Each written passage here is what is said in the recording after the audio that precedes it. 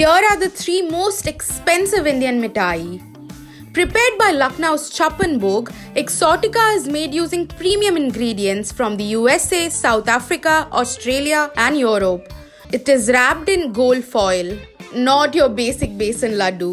These laddus by Delhi's Ark Workshop are filled with expensive French Valrhona chocolate and dusted with edible gold. This creation by Thane's Prashant Corner is prepared with organic Mamra almonds from Iran, pistachios from Oman and Italy, and pure Kashmiri saffron. What's your favorite mithai? Tell us in the comments.